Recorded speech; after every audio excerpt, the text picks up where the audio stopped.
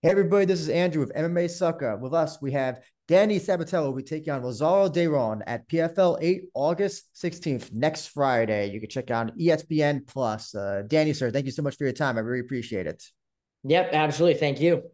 Uh, so it's been almost uh, almost a year since you've had your last fight. I'm just curious to know what you've been doing since then uh, till uh, about now. Yeah, I've been training like a motherfucker. You know, if it were up to me, I would fight a zillion times a year. It just unfortunately hasn't happened that way. You know, a lot of people in this MMA are pussies and don't accept the contract and don't really want to fight me. I understand I bring a little bit of a different thing to the table when you fight me. Uh, but a lot of these fans just don't really understand that a lot of these fighters pick and choose their opponents and are pussies. So unfortunately, I haven't fought since last year, but I feel like a little bit of a caged animal going to this one.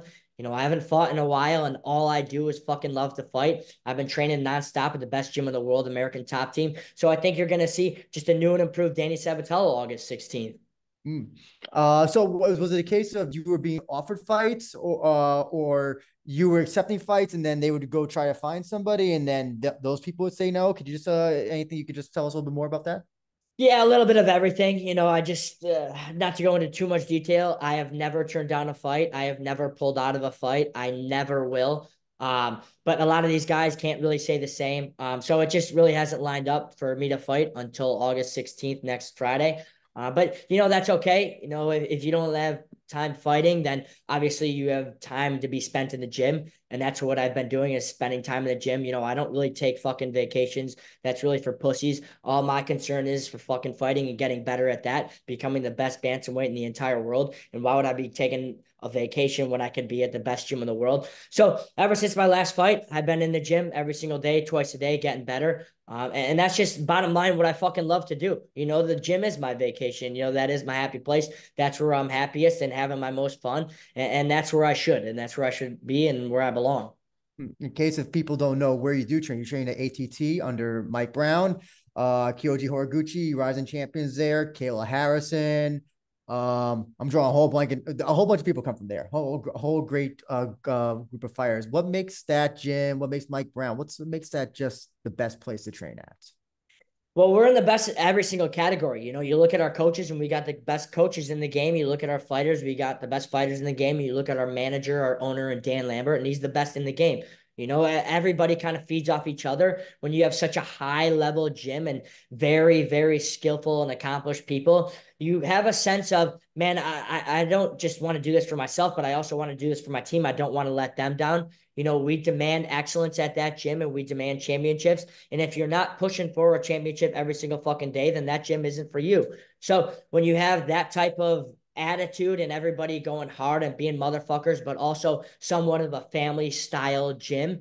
It just breeds champions. And, and we are a very different gym than everybody else. If you've ever trained at the gym, you see why we are the best gym in the world, uncontested. Um, but it's just something that you have to witness and and be in to really fully grasp because all it is is just champions. You know, you look at my training camp right now, and it's filled with sparring Movsar Evloev and Pedro Munhoz, you know, two very high level guys. And those are two types of guys that people can't get at their fucking gym. So we have the best everything. Hmm. So one of the things I'm curious to know and that other people were asking me to ask you was, uh, what is your status with Bellator, PFL, uh, like whatever you can talk about like that. What like what is your current status with each company or one of the companies? Well, I'm the only one that's both. You know, this fight coming up uh, is a bantamweight fight, but the PFL doesn't have bantamweight, but it's the Italian gangster Danny Sabatello. So they are going to have one. You know, with that fight, I feel like I'm representing the bantamweights in this organization and I'm going to show off for them. You look at our bantamweight division in Bellator, and it's the best bantamweight division, regardless of promotion. Our top 10 is absolutely elite. We are well rounded guys that have grappling and striking. So I think I am putting on for these guys. It's going to be a very uh, competitive division going forward. If you just look at all the names in there, um, and, and I don't know the future of the bantamweight division in the PFL, but if uh, if it's me representing them August sixteenth, there's nobody better than me representing them. Gotcha, gotcha. So up? Talk about that fight August 16th against Lazaro. Dayron undefeated, uh, one year older than you, but you know, pretty. Uh, still new to the game of fighting. Only eight fights. Uh, have you seen his stuff, or do you know anything about him? Anything you want to say about him? Yeah, he fucking sucks. Uh, I've watched a few of his fights, and he's just sloppy everywhere. He's not as good as me in any, you know, stand up, grappling, jujitsu, Muay Thai, boxing, kickboxing. The list goes on and on, and I'm just so much better than him. Um, he's undefeated, and I love fighting undefeated people because their confidence is so high, and there's nothing better than having somebody let down on themselves after getting KO'd, which I will be doing in round one, August 16th, KOing him.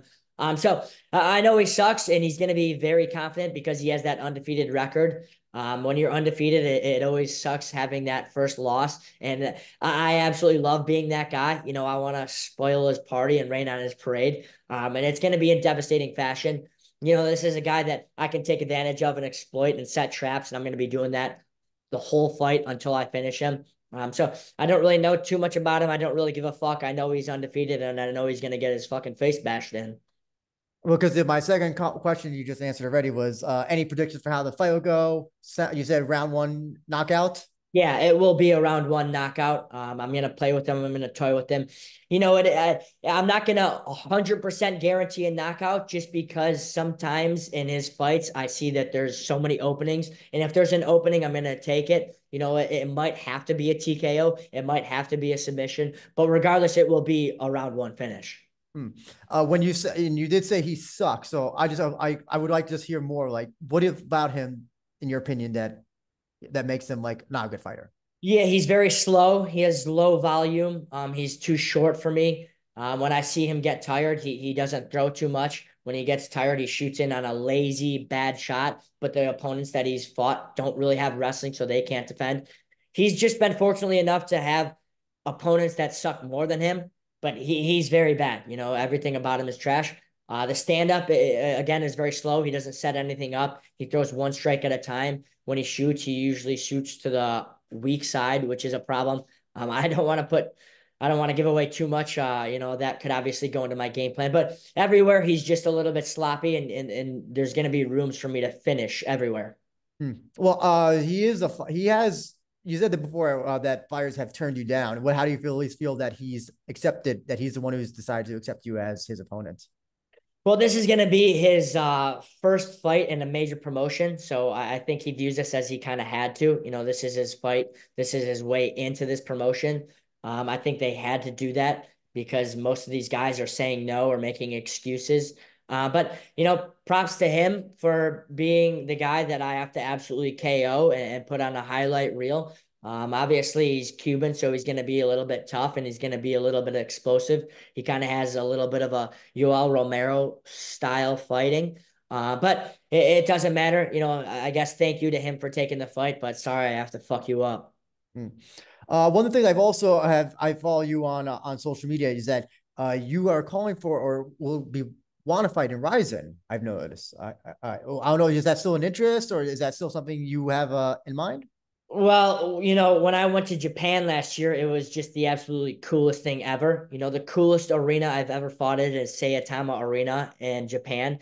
And the coolest arena I've ever been in, period, is Saitama Arena in Japan. So I know that PFL and Bellator has that card December 31st on New Year's Eve and they combine it with Rizin. I would love to do that. I love going over there to Japan. Their fans are very knowledgeable. They probably have the best fans and most knowledgeable fans. Um, I would love to go over there and, and fight, but first things first, I have to take care of business August 16th. You know, in my eyes, I fuck this guy up August 16th. I get one fight in Chicago or Abu Dhabi. And then I would love to fight December 31st over there in Japan. Um, you know, before my career is up, I have to fight multiple times in Japan. I love going over there. Hmm. Uh, I know. You, I think you also put out a tweet, if I remember correctly. It says something that you you you you, you anointed yourself the Rizin bantamweight champion. Have you been following that whole the whole division and kind of the craziness that's been going on with that whole thing with Kai leaving and all that stuff? Yeah, with Kai being the champion and him leaving, that leaves room for a champion, and I am the best bantamweight that's ever fought there. So by rule, I am the Rizin champion. I just have to get this PFL or Bellator belt now, and I'll be a double champion. If somebody needs me to prove that, I would have no problem going over there to Rizin and representing the PFL and, and fucking up one of their guys. You know, when I think about my fight December 31st over there in Japan, if I get that, I want one of their Rizin guys. I want one of their Japan guys. I want to fuck one of those guys up. I want to represent the PFL and show how elite we are. I want to have a massive fight, PFL versus Rizin. Let's see what fucking happens with the fireworks December 31st. I'm very excited for that. But obviously, I'm very excited for August 16th. First things first, I just have massive fights in the future, uh, and I'm very excited for all of them. You did say uh, you that's one of your goals is to fight in Japan. I'm I'm curious to know uh, uh, how many more years do you see are you giving yourself to fight? Do you have like a timetable? I want to do this, or I'm going to fight till I'm 35 or something like that. Yeah, I don't have an exact timetable, but just because I can do a lot of things, I can't tell the future. But I would love to fight until I'm 56. Um, I think the way I fight, I'm very smart. I don't get hit. I don't take punishment. And I'm just a dog. I'm a motherfucker. You know, if I'm not fighting, I don't know what the fuck I'm going to be doing. You know, I don't have, you know, a plan for when I retire, what I'm going to be doing. I don't know. I'm going to be a fucking piece of shit because all I want to do is fucking fight. So if it were up to me, I would fight fucking forever. Um, I want to do this for as long as I can. Um, and I just have to take care of business and fuck all these guys up. I have to be the undisputed champion before I could even think about any of that shit. Hmm. Uh, I, I don't know if you did, if you saw the fight between uh Patchy Mix and uh and Magomed. Uh did you have a opinion on who won that fight between the two? Yeah, I thought it was a very close fight. Um, when it went to the d- decision and the judges' scorecards, I didn't know who they were going to say. I, I don't think I had it for Patchy or the Russian. Uh, I just kind of thought it was a toss up. I just kind of thought it was a sloppy fight. Both those guys aren't very good. I think I fuck them both up. You know, I obviously I already fought the Russian, but if you look at the way that fight went down. I took him down very easily in the beginning and then just got caught. That's what happened in, happens in the sick, crazy sport of MMA. I would love to get that one back. Uh, but I did see the fight, you know, I, and and I think I fuck up both those guys. I, I don't really know who won that fight. Um, but Patchy does have the belt. He's going to be fighting my leftovers and Higo. I don't know who's going to win there. I don't really give a fuck, but I am coming for that belt and I will get that belt. Hmm. Um, so I'm curious. I know that you have a lot of uh, opinions on people in MMA and all that stuff. I'm curious to know who do you like the most in your sport? Who's the person who you who you would say that you that you like the most, if you have one? Besides yourself, I should have said besides yourself. Or is there anybody?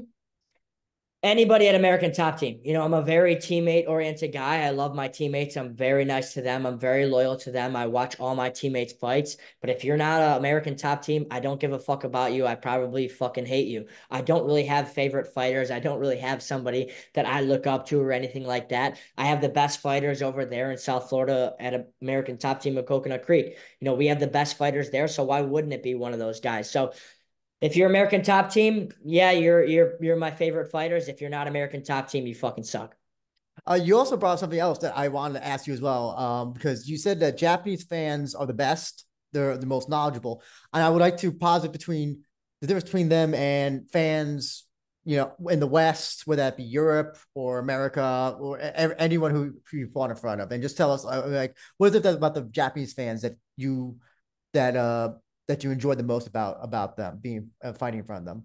Well, the Japanese fans understand the sport, and you know it if you go into their arena and how they view it and how they watch it. They completely understand what's going on. They understand that there's traps that are being made. They understand that there's setups. They understand the striking, the grappling, everything. You know, they're very invested in the fights. You know, I, I sometimes read my DMs, which is 90% filled with dumb fucking idiots telling me they're going to kill me. But some of the times it is the Japanese fans.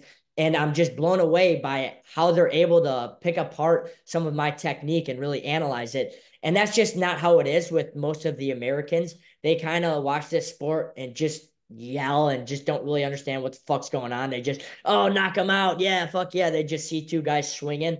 Uh, but that's really not the case with this sport. It's actually chess with our human God given bodies. Um, and in Japan, they understand that. So they're very knowledgeable in Japan. They understand fighting and and the chess that's behind it. In America, you know, I'm not going to say 100% of the fans in America are dumb, but most of them are fucking idiots. So I will say that. Um, you know, the Japan fans are just they're awesome, they're great. The American fans, some of them are great, most of them fucking suck. Hmm. I, I don't know if you had did you were you able to interact with any the Japanese fans per chance as well. I also hear that a lot of fighters say that they're just more, I guess, pleasant or they're just. I guess. Well, just analyzing the Japanese culture when I'm over there in Japan, I, I spent a good amount of time over there. They're just very nice people in general. I did interact with some of the fans before the fight and after the fight, um, more so before the fight, because when we pull up to my hotel, there was a bunch of Japanese people waiting to take pictures and autographs and, and all that stuff. And none of them really even spoke English too much, but you could tell that they were trying to speak English just so I could understand them. You know, they give a lot of effort and they're just very nice people. Um, so it was nice interacting with them. I, I would love to interact with them some more next time I'm over there. Um, because they're just very unique and very different. The, the, the Saitama Arena is absolutely massive arena, and they absolutely hack it. So there's a ton of fans over there, and they absolutely understand the sport and they love the sport. Uh, we had a question coming from a fan. Uh, speaking of, uh, of Japanese MMA, uh, Unified Rules podcast. He wants to know which rule set do you prefer? I don't think. Uh, well, well, which rule set do you prefer? The uh, Unified Rules or the Rizin rules? I don't think you fought under Rizin rules with soccer kicks and all that stuff, right? No, I've never fought with the Rizin rules, but I like the rule set whichever one I'm fighting in. You know, I can acclimate and accustom to whichever rule set there is. You know, with this fight, August 16th in the PFL, I won't be able to do elbows. That's okay. No problem. I'll just finish him a different way. I'll slice him open with my fists, with my knees, with my ankles. That's fine. Um, if we are allowed to do soccer kicks in, in a Rizin fight, good. I'll punt this fucking guy's head to Jupiter. That's totally cool too. So I don't really have a favorite. Um, right now, I am in Bellator and PFL, so those are my favorite rule sets. Uh, but going forward, th- this is a fight. It, it doesn't matter if, if I can box and use wrestling and all that shit. It doesn't really fucking matter to me. And I know that you said that you really don't that you don't take vacations, no days off, but when you're done at the gym, you go home, you unwind. Like, what is it that you like to do that just uh, you know, take your mind off uh off a hard day's training? Think about fighting. You know, we, me and Mike Brown, we record my sessions. So I go back and I, and I watch the sessions, you know, I like to spar too, just because that's the most fun practice to me. That's really when you test yourself and you kind of check your technique and you try new things. So we're always sparring. So I always have footage of myself sparring and trying to evolve into a better fighter. And again, this isn't something where, oh, I feel like this is a fucking job. You know, I need to go home and I unwind. Obviously, not every single day at the gym is amazing. And obviously, not every single day you wake up and are and are totally energized. You know, I live two minutes away from the beach. Of course, I want to go get fucked up and head on girls at the beach. But most of the time, I just want to go to the fucking gym. So I don't really have a hobby out there. You know, I don't play video games. I, I don't do any of this shit. I don't take trips. Um, again, all I want to do is just fight, think about fighting. Um, I do love to party and celebrate celebrate my victories. But when I'm done partying for a week and getting fucked up with my friends and family celebrating, I get right back in the gym, and that's what I want to be doing. Hmm. Um. So, like, when you say fucked up, you mean like drunk and like all that stuff? Okay. Just, just drug. I, I only drink. I'm, I'm a heavy believer in not doing drugs. I don't even smoke weed. I know a lot of fucking MMA fighters think it's so cool to like smoke weed. I don't smoke weed. Um, if you do, that's okay. Weed was cool in high school, but I don't do it. Any, uh, you know, but I, I do like to drink and have my fun with my friends. But yeah, no, no drugs. I've never done a drug, and I never will. Mm, gotcha. So, and one of the other questions I got to ask is, uh, and I know that a lot of my friends from New York will probably want to know Chicago pizza. Why is Chicago pizza king? Why is it better than New York pizza? Well, here's the thing. Everybody hears Chicago pizza and they think a deep dish, which, yeah, it's very unique and it's very good. Shout out Lou Malnati's. It's the best deep dish pizza there is. So very good. But Chicago also has very good thin crust. So the versatility of Chicago pizza trumps anywhere because we can do something unique like deep dish, or you can go somewhere on the south side called Vito and Nick's, which is also very good and it's thin crust. So we can have anything, you know, let's say one day you want a deep dish, boom, okay, go get a deep dish. It's fucking amazing. Now you want thin crust. We also have very good thin crust. So we have it all. Hmm. I like that. I do like deep dish. I will say that. I very much love deep dish. Uh, before you go, uh, Dan, I want to give you an opportunity to plug your gym, sponsors, social media if you want. Yeah, uh, go ahead. You could go ahead and plug all that stuff. Yep, no plug. Just Dayron's a bitch. Okay, well, I was gonna be my next question was uh, if you have any last comment you like to say to uh, Dayron.